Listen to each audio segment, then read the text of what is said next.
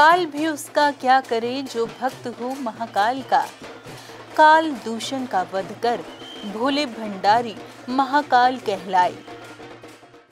अतुल्य भारत का हृदय, यानी मध्य प्रदेश, जिसमें मंदिरों की नगरी कहलाने वाला उज्जैन, जहाँ 12 ज्योतिर्लिंगों में से तीसरा ज्योतिर्लिंग महाकालेश्वर ज्योतिर्लिंग स्थित है, जहाँ महादेव महाकाल के रूप में विराजित है। तभी तो उज्जैन को महाकाल की नगरी भी कहा जाता है।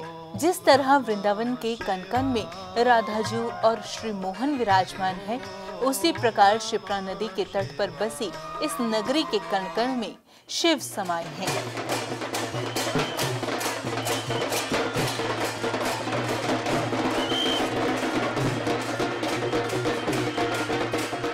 जो आज भी यहाँ विराजित रहकर अपने भक्तों की रक्षा कर रहे हैं। कहते हैं इस मंदिर की प्रसिद्धि आज से नहीं है, बल्कि यह तो सदियों पुरानी है, जिसका सबसे पहला उल्लेख मत्स्य पुराण और अवंती खंड सहित प्राचीन संस्कृत ग्रंथों में भी है।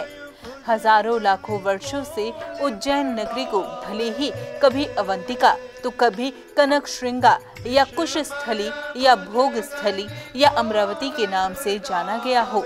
लेकिन इन सभी नामों के बावजूद इस नगरी की पहचान सिर्फ़ महाकाल की ही नगरी से है।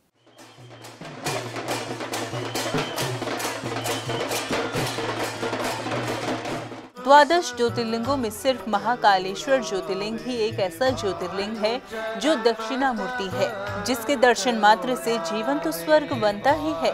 लेकिन इसी के साथ साथ मृत्यु के उपरांत भी यमराज के दंड से मुक्ति मिल जाती है।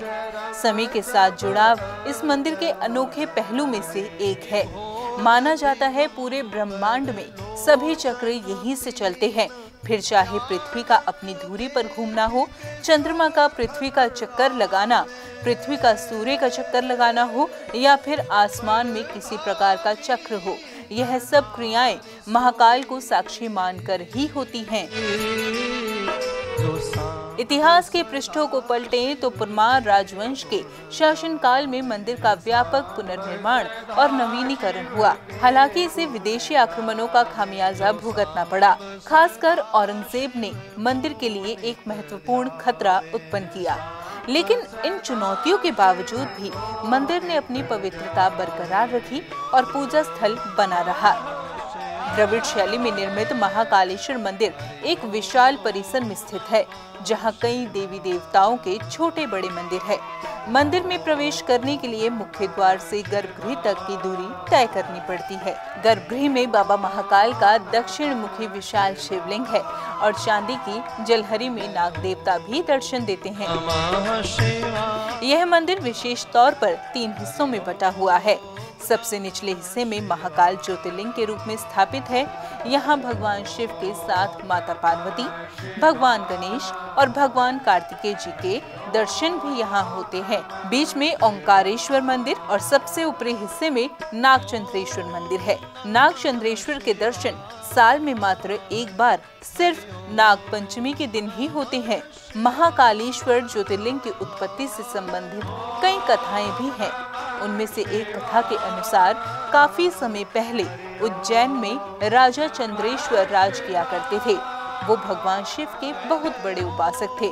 सिर्फ़ राजा ही नहीं, बल्कि प्रजा भी भगवान शिव को बहुत पूजती थी। एक बार पड़ोसी राज्य से राजा रिपु दमन ने राजा चंद्रसेन के महल पर हमला कर दिया और महाप्राक्रमी राक्षस दूषण के माध्यम से प्रजा को काफ़ी नुकसान पहुँचाया। राजा चंद्रसेन ने राज्य और प्रजा को संकट में देखकर महादेव को पुकारा। कहते हैं राजा चंद्रसेन की पुकार सुन भगवान शिव धरती से प्रकट हुए और अपनी एक हुंकार मात्र से दूषण राक्षस को भस्म कर दिया। महादेव ने दूषण राक्षस का अंत कर उसकी राख से ही अपना श्रृंगार किया और भक्तों के निवेदन पर महादेव यहाँ महाकाल के रूप में निवास करने लगे। इसलिए इस जगह का नाम महाकालेश्वर पड़ गया। और तब से ही यहाँ भस्म आरती की परंपरा शुरू हुई। यहाँ भस्म आरती की परंपरा बेहद अनोखी है। मान्यताओं के अनुसार चिता की राख से भगवान का श्रृंगार कर उनकी आरती की जाती थी, लेकिन अब यह परंपरा खत्म हो गई है। अब बाबा की भस्म कपीला गाय के गोबर से बने कंडे, शमी, पीपल, पलाश, बड़, अमलतास और बेर की लकड़ियों के इस्तेमाल से बनाई जाती है। महाकालेश्वर ज्योतिर्लिंग में हर रोज प्रातःकाल चार बजे भस्म आरती और श्रृंगार की परंपरा सदियों से चली आ रही है। इस आरती के दौरान जहाँ पुरुष वर्ग को केवल धोती धारण करनी होती है तो वहीं महिलाओं को घूंघट करना। कहते हैं, महाकालेश्वर के दर्शन करने के बाद जूना महाकाल के दर्शन करना अनिवार्य है। तभी महाकाल का दर्शन पूर्ण माना जाता है।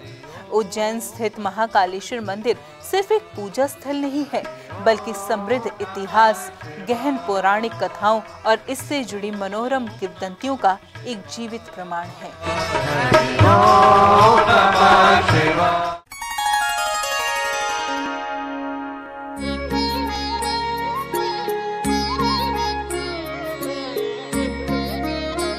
आप हमारे संत वाणी चैनल को सब्सक्राइब करें वीडियो को लाइक करें, शेयर करें और हाँ बेल आइकन पर क्लिक करना बिल्कुल ना भूलें, ताकि हमारी किसी भी वीडियो की सूचना सबसे पहले आपको मिले।